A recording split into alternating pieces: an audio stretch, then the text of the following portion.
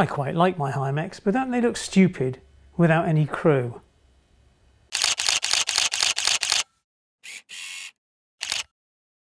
Hi, welcome back to Chadwick Model Railway. I'm Charlie. So today I thought I'd take a look at fitting figures into my diesel fleet, in particular the Hymeks, just because they need doing really. But one thing to consider is of course is if you put crew at one end, does it look stupid when you run it round the other way and there's no one in there? Well, horses for courses really, but it does look silly when your trains come trundling around. And I've seen them at exhibition loads of times and there's no one driving the train. Perhaps a ghost train, who knows. But before you do it, you have to consider, you know, if, if your locos are going to always face one way, is it worth doing and what's available? Well, in this video, I look at the options from Monty's Models, um, from Bachmann and from that extremely expensive source, the rubbish on eBay. Now before we go any further, I just thought I'd mention next week's video because what I thought I would do is dip my toe in the mysterious depths of CVs, in particular CV29, and I can make one promise. If you're into CVs and don't understand 20, uh, CV29, you certainly will do by the end of that video. Honestly, I found a great way around it. It's a piece of cake. So whatever you'd like me to cover, please leave a comment in the comment section down below and also give this video a big thumbs up. Catch you later. Now I do understand the fear that some people have about taking the body shells off. Now the way I do things I've got this old blanket. So if screws drop off or whatever, they don't bounce very far. I'm not going to scratch the bodywork on this. Um, but a word of caution, this is a Hymek and it has horns on the outside. Class 30, some well, later class 37s are the same and these break off all the time. So how do we get the cover off? Well, in the instructions it says that there are four lugs and if you can see here, I zoom you in, that is where the lugs are. They're either by this there or there. So what I need to do is, it says just prise it apart with your fingers, but I think the best thing to do is use little bits of sort of, you know, business card. So what I do is I just get drive this in here, prise it in and it will force that lug out. So all you've got to do is repeat that four times and don't don't use tools for this because all you'll end up doing is scratching the body shell so I've got two more to do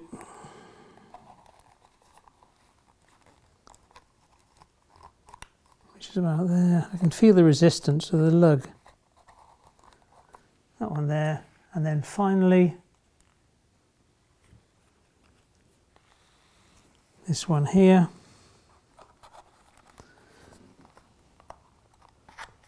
Now hopefully when I turn it over it should just drop out. yeah, right. There you go. Easy. Right. And I mentioned about the lugs. Let's zoom in a little closer. And if the camera will focus up, these are these little lugs here. So there's four of them and they locate, they go down, well in fact you can see the trace now where they uh, where they came down. Right, four little lugs. There we are. Right. So, how do we improve this? Well, clearly we don't have driverless chain trains. So what I will do now is I shall take out one of the cabs to fit uh, a crew in here. So which one should you take out? Well, if you think you're going to run a 3A or a 1B perhaps. Um, for example, that's a express passenger in the Bristol area. So if you're going to use this to pull passengers, you might use this end and therefore fit the crew in here and then leave the others em empty. If of course you're going to have sound in there, you need to take this out, the um, this section out of the other end anyway because that's where the speaker will go. So how do we take it off? Well, I use a flat edge screwdriver, I turn it over and I then prise it and you see the cab area start to lift. When it lifts straight up, stop it before it gets to this cross section of perspex because you don't want to damage that. And it, Yeah, easy as that. And that's how easy it comes up. So, there's our little cab. So now we want some people. Please don't forget to subscribe to the channel. And if you hit the little bell icon and go for all, then you get a notification every time I release a new video. Now at the Odd Model Railway Show, I have bought some of these diesel loco driver and diesel drive, uh, diesel loco second man and also a guard with his arms folded from Monty's models. And these are quite um, decent really. I'm afraid they're a little more expensive than uh, the Bachmann ones, which actually already come painted. Um, but I do like these. They they are you know pretty nifty figures, um, and of course you can paint them up as you see fit. Now, what I've got to do, I like to use a block of wood, and you can see they've got a a mounting stem. So I poke the stem into my little block of wood, and then I'm free to paint them as I go. Now, I don't like to paint on metal like this um, and they always recommend that you should wash these beforehand. So what I should do is wash them and then I will blow a, a light coat of Halford's white primer over these figures. They are rather nice, aren't they? Actually, the wrong way around. There's the driver and there's the second man.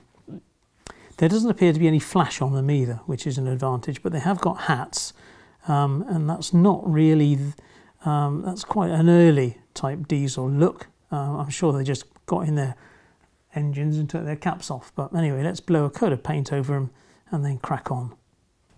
Now to paint these figures up, what do I use? Well, first thing I use is an optical visor because I can't see very well. I have, and it's just using acrylic paints, so I've got some uh, Tamiya thinners, but any old thinners will do. Um, I have some blue, which is, which is their uniform colour, which is regal blue, and that's not necessarily the right blue. I think it's actually darker than that. Um, so I've got some uh, a Vallejo, what's this one? German black brown, um, and I normally do the hair in a black brown colour. Um, but I can also add some of this to the blue to darken it down. And I've also got a dwarf flesh, whatever that is, um, for the face and hands. Brushes wise, I tend to buy from Premier and this is a 2.0 for the uniform and this is a 4-0 um, for the face and hands. So all I do then, in, in which particular order I do it, I do the flesh first, then I do the uniform, which is obviously the uh, trousers and jacket and the hat, and then I do the hair, but I may mix some of this with some of that just to give it the right shade. And then finally, I come in with the brown um, and do the hair. And I have one of these little mixing things to um, mix them together. And these are, these no these aren't clearly expensive paints. They're just stuff I've picked up. But the, the, these brushes are quite decent. So first thing I should do is their flesh fleshy parts. Mm, matron. Now these paints from Citadel, once you give them a shake, are quite interesting really because they have this kind of strange lip and they are ideal then just for picking up tiny amounts of paint. And the reason I do the flesh first, if you start with a lighter one, hence the white uh, coat of Halford's primer, is because you can paint over with darker, but you, it's very difficult to paint lighter, if that makes sense. So we just need his hands there. And then with the driver,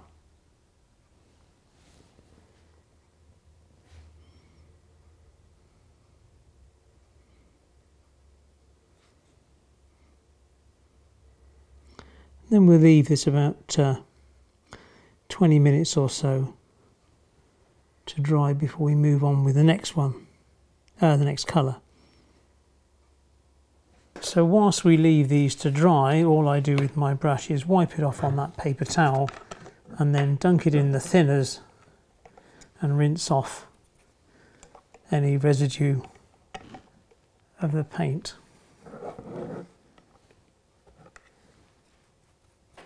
So now it's about time for a little bit of uh, the uniform, which is the blue. So We'll dab some of this on and see how we get on. taking a little bit more care, obviously, not to miss out the, uh, sorry, to miss out, that is, the hands. And I also want to leave the, the white section as if it were his shirt. This blue looks okay. I thought I might have to darken it down a little bit. And if it is, if it still does look a little bit bright, I can always do a bit of dry brushing on it a little later. So now, the other thing is, of course, is don't not worry too much about his lower regions of his trousers because we are going to cut his legs off to uh, get him to sit properly. So we're pretty much there. All we need to do now is their hair and a little line down the front of their shirt which will look like a tie. The Vallejo paints are very good because you get very little wastage because you um, you're not pouring it out into um, larger bottles or containers or whatever. So it's uh, a good way of doing business, really. Well, there are our two little fellas all ready to go, and hopefully you can see I've even given a sort of look of a tie as well. Well, I'm afraid it's now time to butcher the crew, which means just cutting them off at the legs.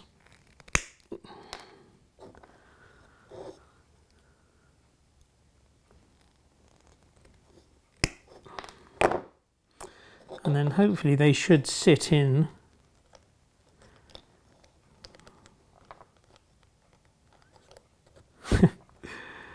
Come on. Reasonably well. And hopefully you'd agree they look pretty good. So drop a super glue and super glue accelerator and that'll keep them in position. Now the super glue I'm using is Deluxe Roket Rapid Fast Setting Medium Viscosity Cyano Glue. Bonds in 5 to 10 seconds and uh, a can of super glue accelerator which has cancer warnings on it so hence it's a, a glove job and also a face mask when I'm spraying this. Pop them into position. Lovely. Move this stuff out of the way. And then with the accelerant, give it a shake and then that should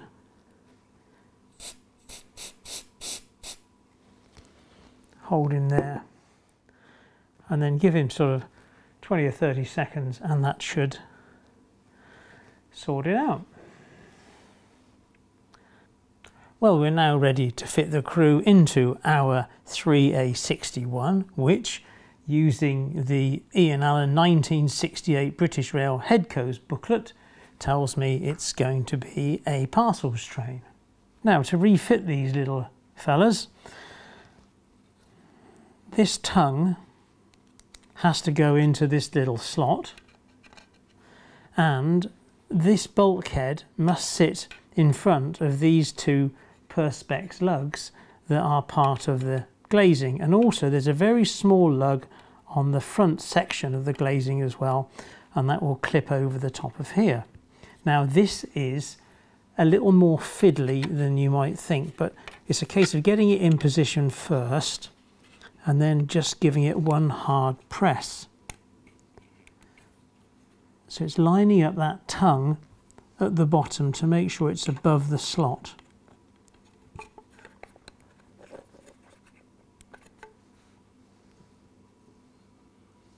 And that looks pretty good. So now it's a case of pressure.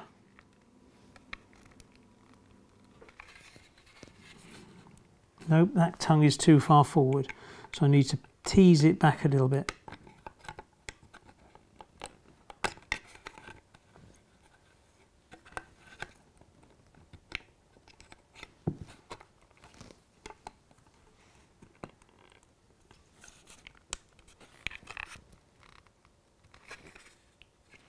Never ever lose sight of those horns on the top of this loco because it's so easy to break them off.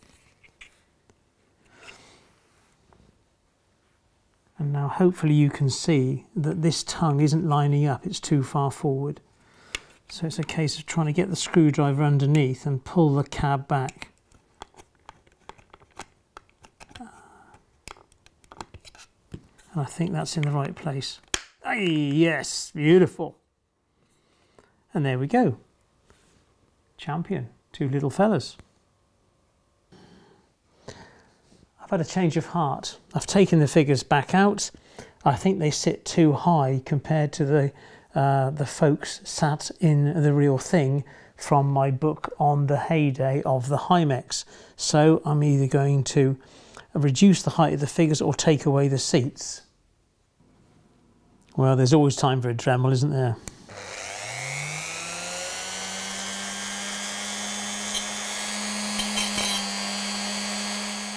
Well, here we are and I've cut them down and sadly most of Monty's models is now in the bin. Now taking a look at this little bulkhead section behind, hopefully you can see that the their level of their hats is below that height a little bit and that's the sort of bit I'm aiming for just to get a, a couple of millimeters below that sort of bulkhead bit. So let's see how we get on now. Well here we have the fellas refitted and as you can see the height is sort of much better. They should be central in the windscreen as we saw from that photo. But as these are quite expensive from Monty's models, you've got to ask yourself, were they worth it in the first place? Well, probably not. So what are our options? Well, these cheap and cheerful little sitting figures are available on eBay for about the price of one or two of those Monty's model figures. But of course, the colours are absolutely dreadful. So what I think I'll do is I shall uh, quickly sever these, stick them in place, paint them up, and so we can do a comparison. Now here are my next set of locomotive drivers, mounted on a Wills Woodbine crib board, and all I do is I bought some um, little crop clip mounts on eBay, so I'll just take these outside and blow a coat of Halfords white primer over them.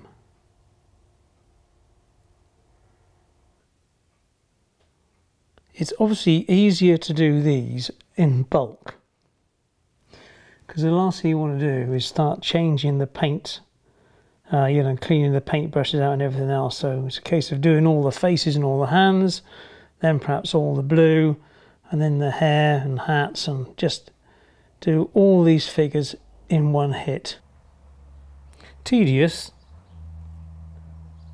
but somehow rewarding Well, there they are, the class of 2021. Well, now it's time for a bit of home surgery. And using my little expo saw, it's time to cut these up. And I'm going to cut them just above the hands. It would appear that the hands make them um, just a little bit too tall in the seat. So if I cut them here,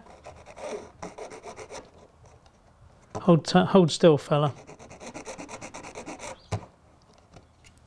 any pain.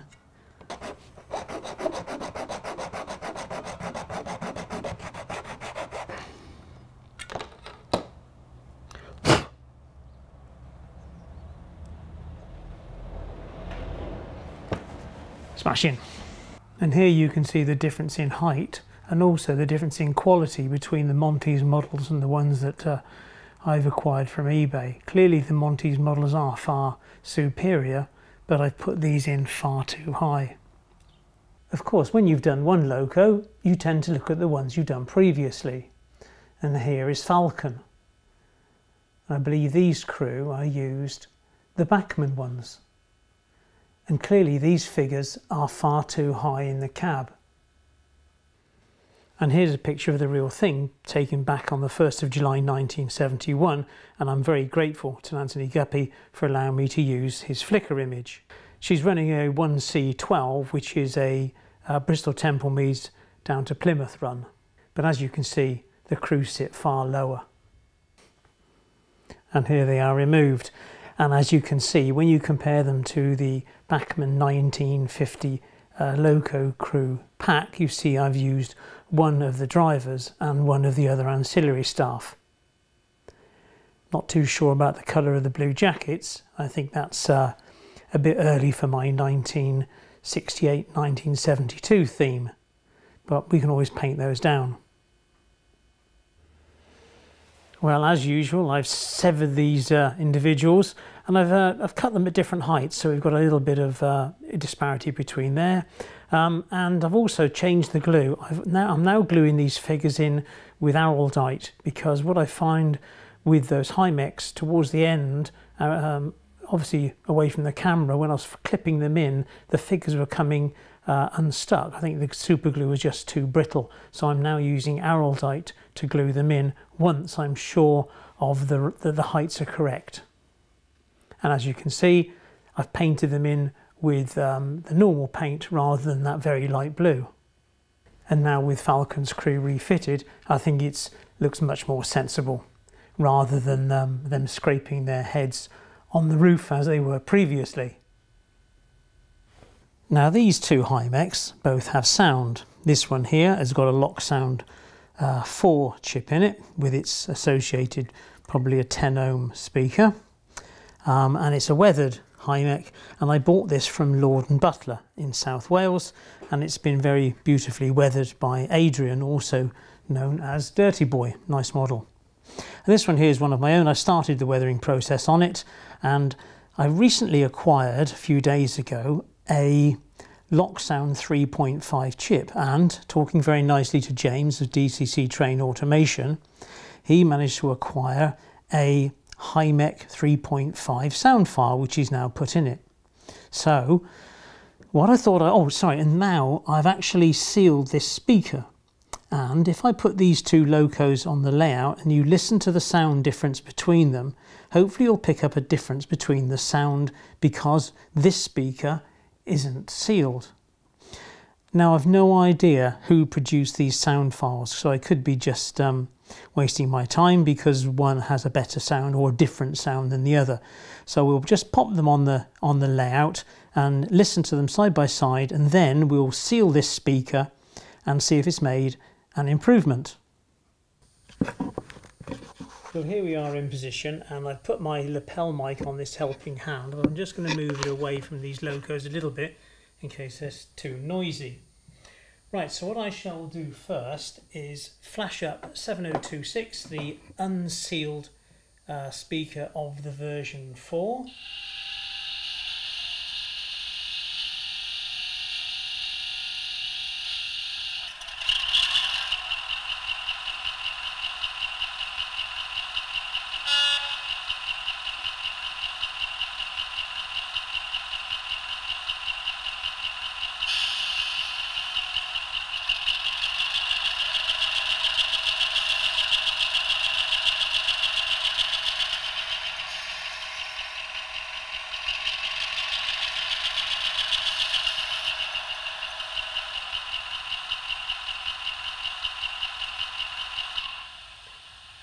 Now to me it sounds a little bit tinny, so let's switch over to 7017.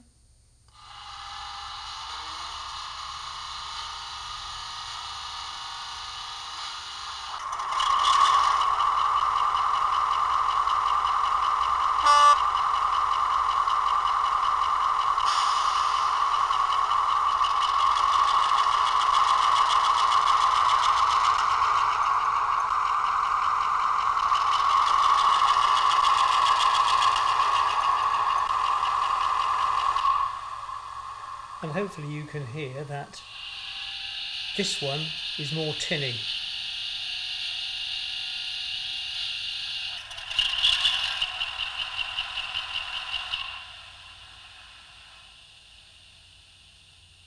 Okay, let's seal this one up with Copydex and see if there's any difference. Now, if you're a regular on the channel, you'll know that I quite like Copydex because it, you might say, strong adhesive for fabrics, carpets, etc. Um, but for plastics, it's not that strong and it's quite easy to peel back off. So what do I need to do? Well, first thing I need to do is get this speaker out of its housing. So I just poke that and hopefully it will kind of lift out. And there it comes ordinary little speaker. For some reason it says 1.5 watts on it. Four, oh, it's a 4 ohm 1.5 watt speaker. And just being a devil, I shall write that down. 4 ohm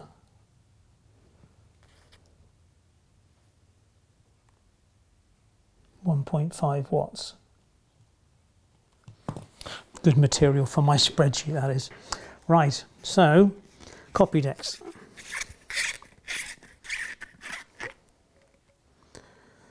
So it's a, a, a, a sort of uh, a, it's like a fish fish pasty smell, and all I do is I coat the inside rim of the speaker with this Copydex. Couldn't really be that much more difficult, really, could it? And then once I've done the inside of the rim, I pop the speaker in and then seal up these little gaps that you see at the sides. Easy.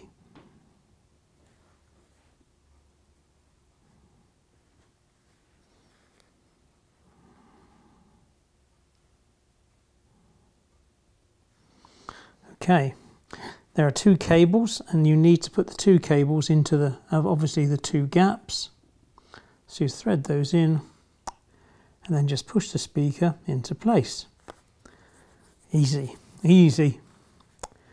Right, now I want to put a bit more Copydex now in these gaps. And this takes a bit of time because um, you might not do it in one go. You might need to fill it in slowly and then apply some more sort of 10 minutes or so later. A little bit messy, but it's not one of these dreadfully toxic or carcinogenic uh, materials that we keep coming across in railway modelling. I'm just going to finish off with a little line of Copydex around the outside.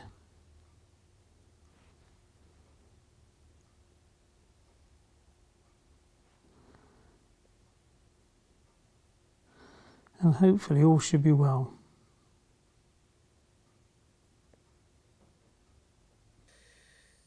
Well, the Copydex's had us a chance to dry, so let's flash her up and see if there's any difference.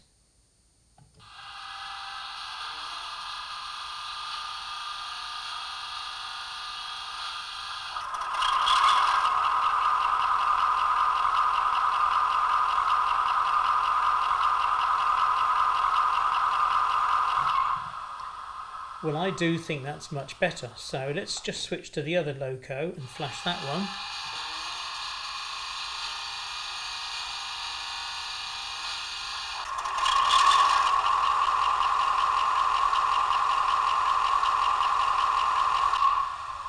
And hopefully you would agree that they are very, very similar. So let's go back to 7026 again.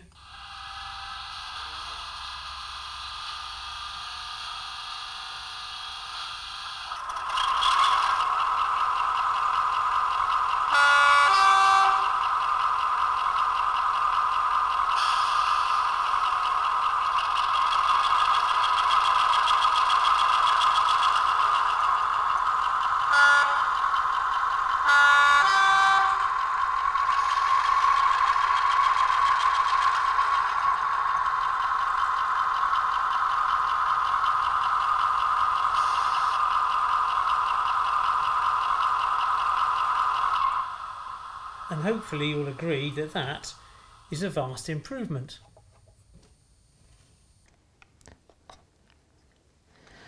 Now, no doubt we all have different ways of doing things, and some people despise this stuff because it's called black tack and it's a lot stickier than blue tack. That sounds ridiculous, doesn't it? And which is far less sticky than white tack. And what I do with it, I never use it on components that get warm, such as the chips. But what I do is I put a, do a dollop of black tack on the inside of the, on the underside, sorry, of the speaker. And then I fit this into the inside of the cab. Now I've obviously removed the other um, cab interior.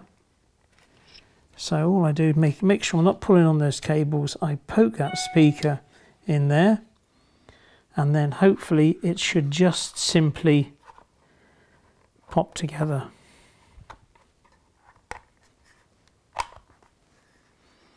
like that. Now clearly there is a great big speaker in this window, but it's the other end. So that's the back end of this loco and then hopefully you shouldn't see it too easily. So there we have six finished locos. Falcon and his five little brothers. I think that they, with their crews, now look absolutely fabulous. Now to take it a stage further, on this particular loco, I then fitted the buffer detail. And if you ever want to waste a complete hour of your life that you will never have back, then crack on. It's a hell of a difficult job. I re-drilled all the holes um, with a one mil drill um, and then slowly glued each one in um, using a thin solvent glue, except for the, um, the main coupling, which I used polystyrene cement. I should hold myself, my head in shame for saying that, but it was the only way I could get it to stay in there. Um, how long they stay on for, I'm not too sure, so I shall just leave this one to trundle around before I even consider doing the rest. It does look good, but um, it was an interesting evolution. As usual, I would like to thank you for watching the video and hope you've given it a thumbs up. Uh, to people who donate to my channel and of course my patrons, if you'd like to be one, there's a button there and there should be a subscribe button there and a video here and here for you to watch in the meantime. See you next week. It's CVs. Don't miss it. Thanks a lot. Take care. Bye-bye.